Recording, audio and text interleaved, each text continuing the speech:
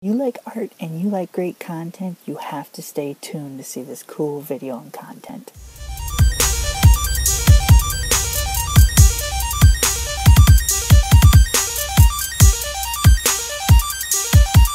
Hello and welcome to another pixel art tribute video. This is the fourth in my series and I am doing it for Tim Schmoyer. He is the YouTuber that has video creators uh, vi uh, video channel um, on YouTube. So yeah, he is a wonderful guy. He's got tons of um, he's got tons of YouTube videos that you should check out, as well as his own personal videos. Uh, his links and his info are in the description, as well as my links and uh, info in the description. So excuse me. Let's get started. Um, who I am is I am an artist. I am a blind pixel artist. I suffer from a condition called cone and rod dystrophy, which is the slow degeneration of your cones and rods, um, which are your light and color perceptors in your eye. This only distorts the vision. It does not make it so I can lose it. Um, it's been a progressive change over the last three years, and I am considered 90% blind um, versus when I used to be 20 over 1,000 and I was considered visually impaired or uh, sorry, 20 over 80, uh, and I considered to be vision, vision impaired.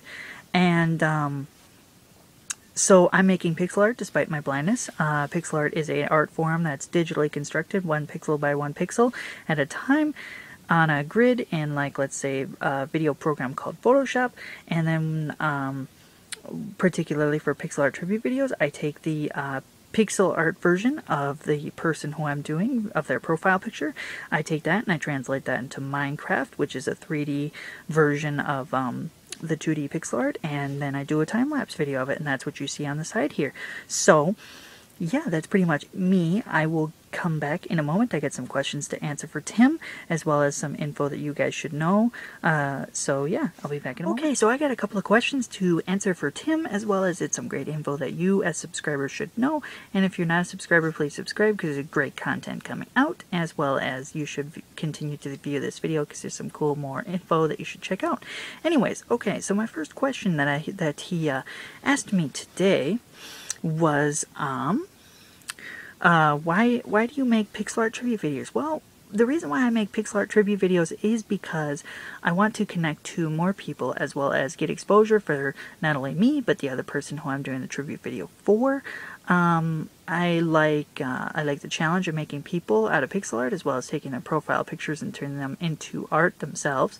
Um, I also like to um, to uh, show and explain my art form to people. Um, and this is a really, really cool way of doing it because not only am I promoting it, but the other person is promoting it as well. Uh, at least I hope that they promote it. Uh, it is their choice. Um, but uh, yeah, so um, that's pretty much why I make pixel art videos is for fun, for exposure, for helping out another person, and for explaining my art form.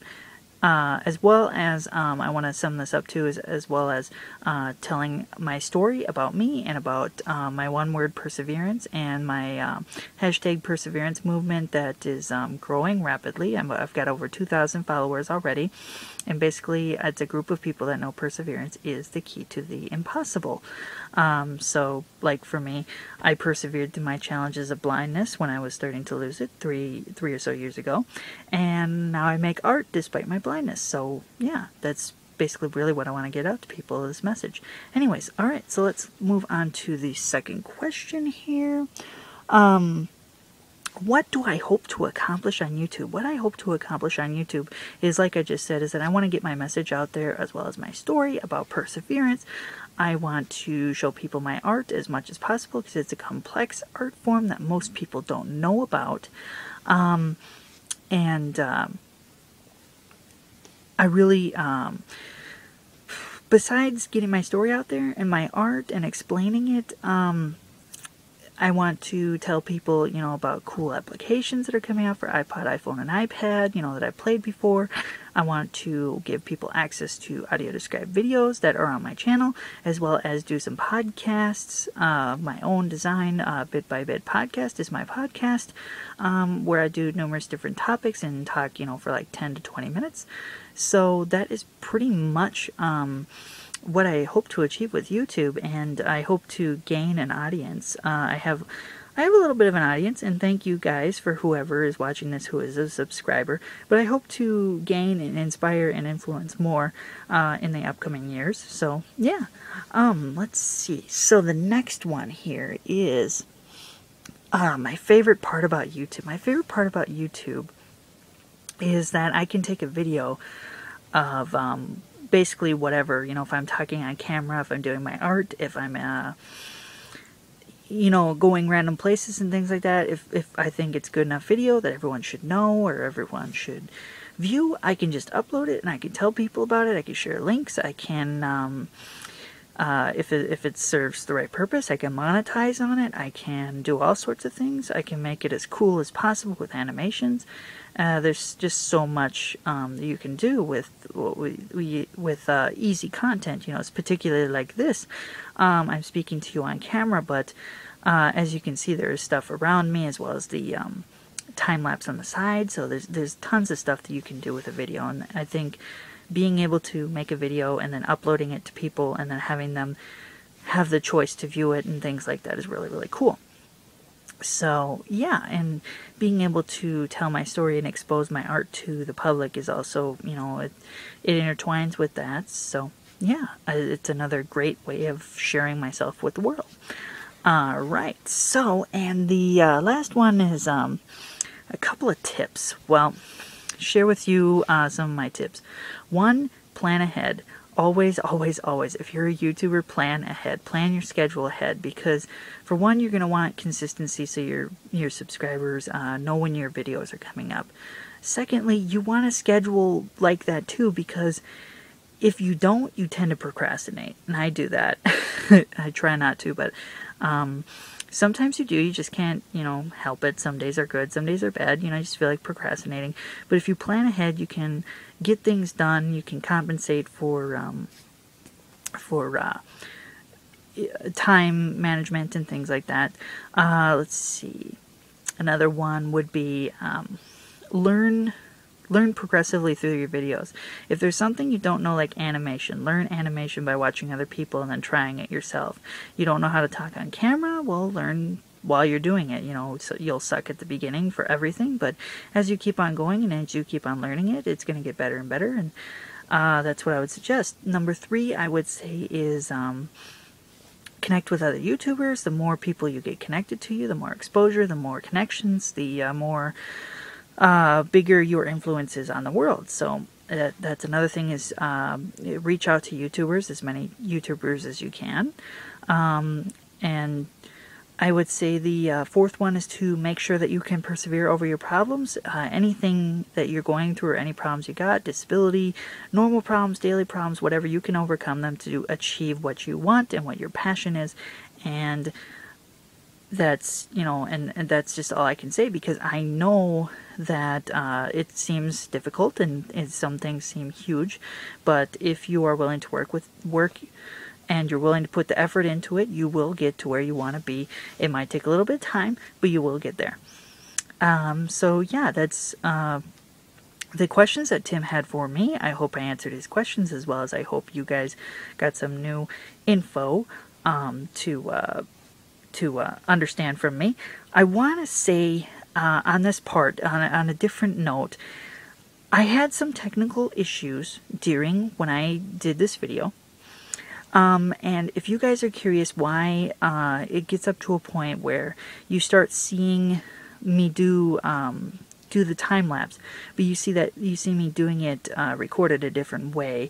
It's because my screen recorder decided to glitch out on the last two sections of um, Tim's um, pixel art piece, so I had to record with my iPod, which was tedious, but I got through it. So uh, just so you're well aware, if you're wondering what the heck is going on, that the video changed from a screenshot to um, to uh, being recorded on an iPod.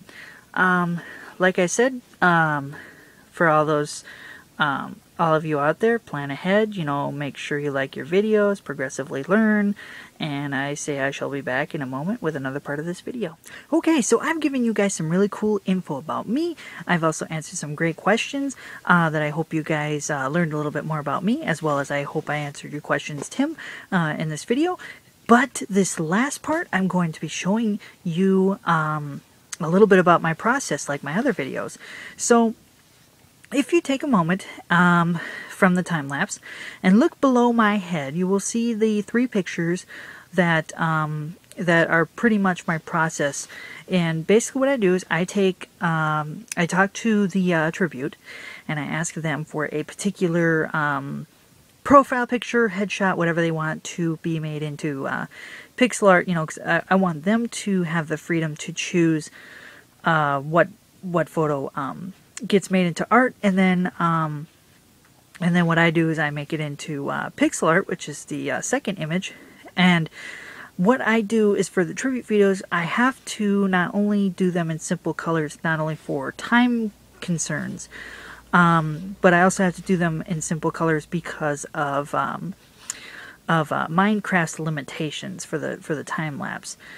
Um, but um, mixed with those, I'm able to get the uh, project done in a week. Um, most of the time, it's the pixel art version, and then taking the pixel art version and then putting it into Minecraft is the other little bit of it while having a screen recorded um, while I'm uh, making it in Minecraft. However, I did experience some technical issues. I, I want to say again is um, I experienced some technical issues. My screen reader decided to not work for me, so I had to do the last two parts of my time lapse in um, recording with my iPod, recording my iPad. So it might not be necessarily the best quality, but it does show the last two parts of the time lapse for you guys.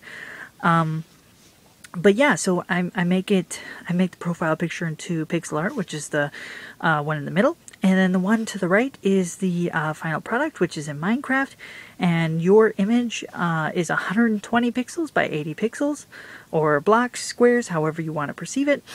Um, the For all of you Minecraft lovers out there, I used uh, glowstone, white wool, pink wool, red wool, and uh, blue stained clay uh, to make uh, Tim's profile picture out of pixel art.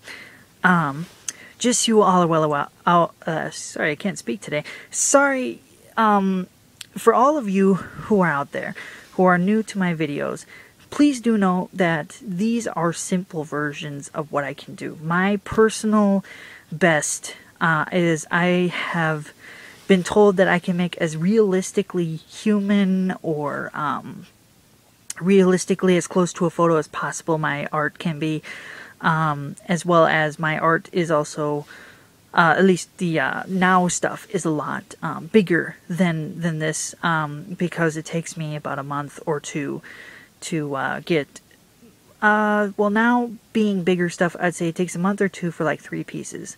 It used to be five when it was doing smaller stuff but now I'm doing stuff that's in the uh, the uh, 2 million pixel range of the of the total pixels being.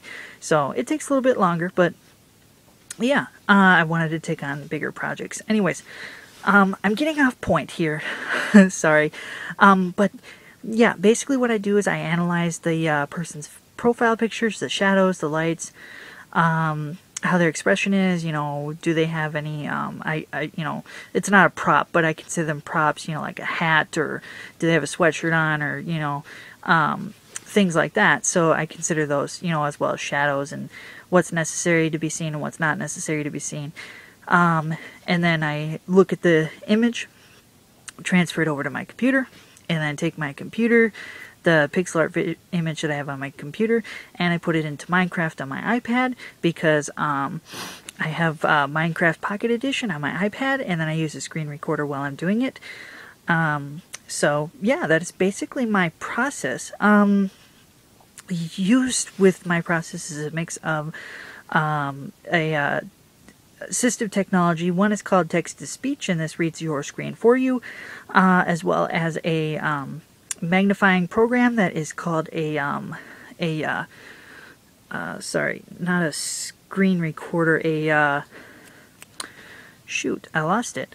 I um, basically what it does is it's, it's a mix of uh, text speech as well as magnification at the same time and I use that for making the uh, from the profile picture to the pixel art version and then for Minecraft I use just regular magnification um, for the uh, iPad. Um, so yeah, um, I hope I gave you some uh, really cool uh, bits about how I do my uh, pixel art um, you know, my process for these tribute videos. If you have any questions or comments, please comment in the comments below. I'm welcome to answer any questions you guys happen to have for me. So yeah, I shall be back with the final part of the video and see you in the morning. Okay guys, so it's the end of my video. Uh, I want to say thank you to Tim Schmoyer for letting me do his uh, pix his uh, profile picture in pixel art. Um, again, this is a pixel art tribute video for him. Uh, I hope I answered all of your questions as well as um, for all you subscribers out there. I hope I answered some more questions about me that you have. Uh, any questions or comments, please leave a comments in the comments below. Um, like, favorite, share this video. Subscribe if you're not a subscriber because there's more tribute videos coming out as well as other great content. Um, and I just don't want you to miss it. Uh, if you want to see Tim's or my uh, info, please look in the description. Uh, his um, a little bit of info about him as well as links, as well as a little bit of info about me, and my links are in the description. Um, let's see. Uh, besides that, um, I say I hope I really hope you enjoyed the video. Um, and despite my technical glitches, I got uh, past uh, past that uh, little issue at the end. Thank goodness it was only two out of eight parts that um, had to be fixed with my uh, iPod with my glitchy screen recorder. I will have that back and fixed up the next time I do my videos for next uh, next Saturday, because uh, I do know what happened and what the problem was. I just can't get it. I couldn't get it fixed in time for this video to be uploaded. But um, yeah, anyways, getting back on point, uh, thank you for watching the video. Uh, thank you, Tim, for allowing me to do a tribute video of you. Uh, I really do hope you enjoyed it. Um, so yeah, thanks everyone. Have a wonderful day and make sure that um, through your daily challenges or um, any any uh, big life uh, challenges or problems that you have, remember that if you if you're willing to put the work in, if you're willing to keep going, if you want to if you want to uh, get to your goals and things, make sure that you know that perseverance is your key to the impossible. Um, take take from my example that I am 90% blind and yet I'm doing visual art for uh, not only myself but for others. So yeah, I say you guys out there uh, have a wonderful day and see you later.